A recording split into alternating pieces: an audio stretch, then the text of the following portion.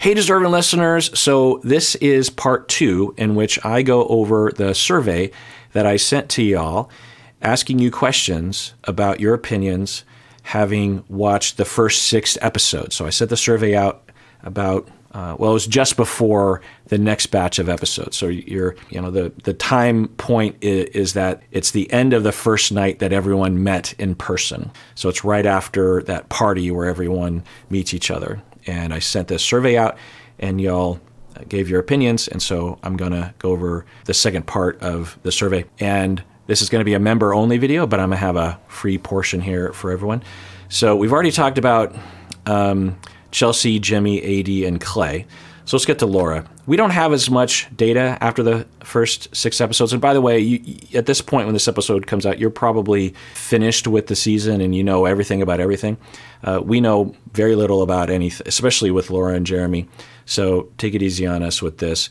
But uh, let's just let's just do both of them at the same time. Only about a ten percent said that they like Laura, and about 20% said they like Jeremy. That is interesting. I would not have expected that. I would have thought people, in fact, a lot of people like Jeremy.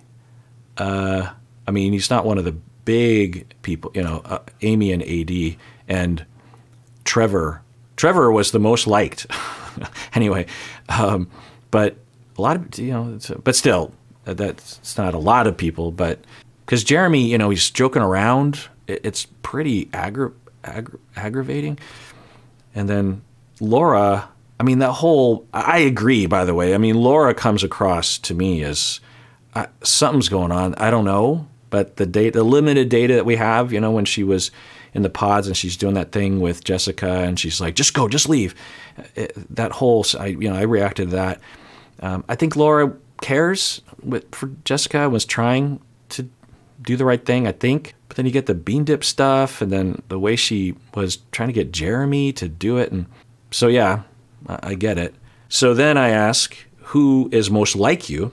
Well, only about 8% of people says that Laura is like them, and about 5% of people think that Jeremy is like them, which makes me like y'all even more. I'm joking. I'm joking. If I met the, if I knew these folks, I'm, I'm going to take a guess and say that I would like them. I think. And then about a third, 35%, about uh, dislike Laura outright, um, which makes Laura one of the least likes. The least liked people are are Jimmy, Chelsea, Clay, and Laura. It looks oh, and Matthew, of course. Then I asked who triggers you. Uh, oh, and Jeremy uh, is also disliked by about 20%, but that's less than Laura. And then who triggers you? about 20% say Laura triggers you. It's interesting. I wonder wonder what the trigger is it is it I don't know. I'd be curious as whether and not that many people are triggered by by Jeremy. And then who will say yes at the altar? Almost nobody thinks that Laura's going to say yes to altar, and very few people say Jeremy's going to say. Yeah, it, it looks like they're both done. And then who's already a no? Yeah, Jeremy. I'm, I'm surprised this isn't higher, but this is, so it's about a third of y'all think that Laura and Jeremy are already a no. I mean, it's possible that they're not already a no, right? That they're thinking, well, I think I'm a no, or they haven't even really given it much thought because they're all, you know, they're just swimming in the first day of meeting everybody. But, but, uh, but yeah, you know, I think that's uh, pretty significant. A lot of more, a lot of people think Jimmy's a no. Anyway, so with the next question who sincerely got engaged to stay in the show insincerely you know about 10 to 15% say laura was insincere in her engagement and very few people about 8% think that jeremy was insincere. So that's interesting. Yeah. Yeah yeah. Uh, i could see laura and jeremy both having gotten engaged insincerely because when they are on their first day together and all that joking around and then when they're at that party was that the first day? Now that i'm thinking about it maybe that wasn't the first no it wasn't the first day. The, i've been misspeaking this whole time the, the, that party was i don't know the day maybe it was day two or three because you know they they they had nights to like sleep maybe it was the second day anyway point is is that laura and jeremy very quickly at the party, they seem to already be contemptuous. And so uh, like with Jimmy and Chelsea, they didn't seem to exhibit contempt towards each other in episode six. They fought a lot, but they they didn't hate each other yet. They weren't rolling their eyes, oh, you again, you know, which indicates that even though they were fighting on a pretty high level, they're standing on a foundation of goodwill and effort and love and motivation, or you know, trying to make it work. Laura and Jeremy pretty quickly seem to exhibit contempt. The way Jeremy's like, "Yeah, I'm leaving," and Laura's just like, "Oh, him." It, it looked like they already literally hated each other, right? But I think I'm out of step with a lot of people here, uh, meaning that if they're already contemptuous, maybe they never were really in love, you know? Now, maybe they got sincerely engaged, hoping that things would work out. I don't know. But then the last question is who has significant relational trauma?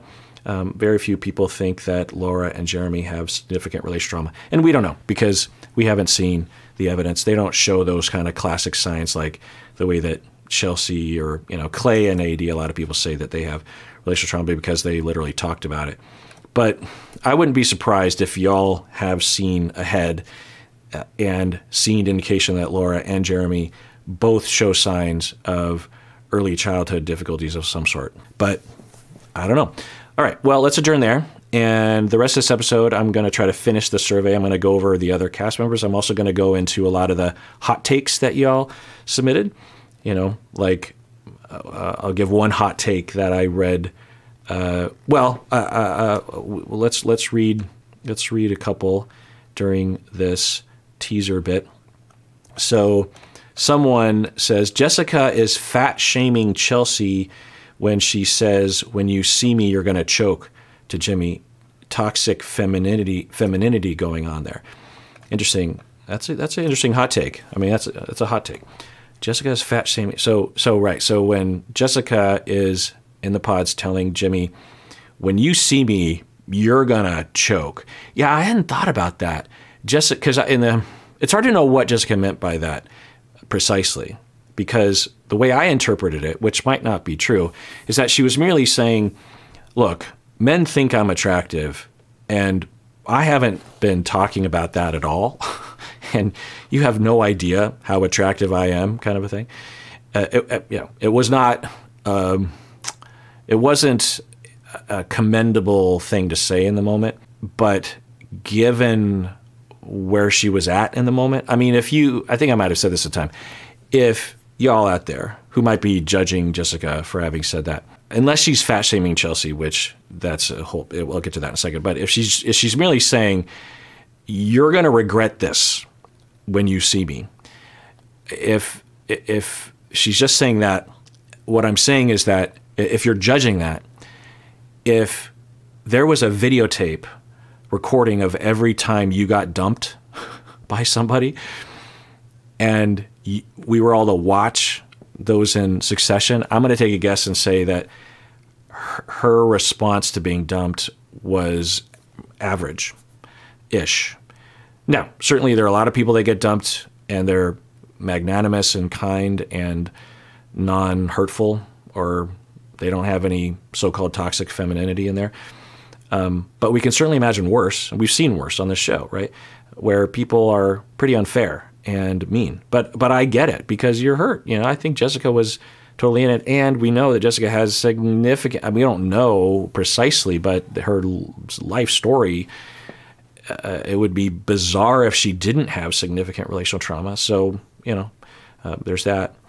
But anyway, so Jessica is, uh, so this person's saying, my, my hot take is that when she was saying that, she was not only saying, I'm hot and you're going to choke, but I'm hotter than Chelsea by far, and you're going to flip when you see the Uggo that you got with and the you know, I'm I'm the fox if there's if there's a Megan Fox among the two of it. I mean, I don't think Jessica would think she looks like Megan Fox, but you, you get my point. If anyone's a fox here, it's me, and she's Uggo and Uggo.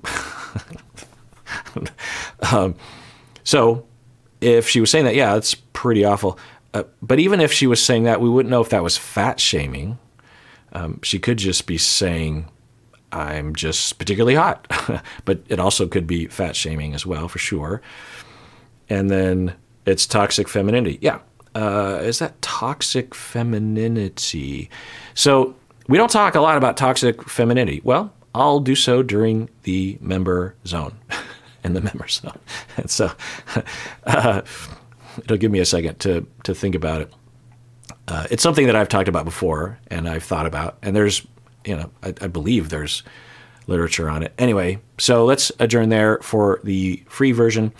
Um, become a member if you want to see this full episode, and I have a lot of uh, member-only videos that are in uh, that are published. You know, I, am doing that whole thing with couples therapy, which is pretty uh, pretty interesting to watch. Um, you know, pretty interesting, and uh, yeah, so tune into that if you want to, or become a member if you want to watch the rest of this. And everyone out there, please take care of yourself because you deserve it. You really, really do.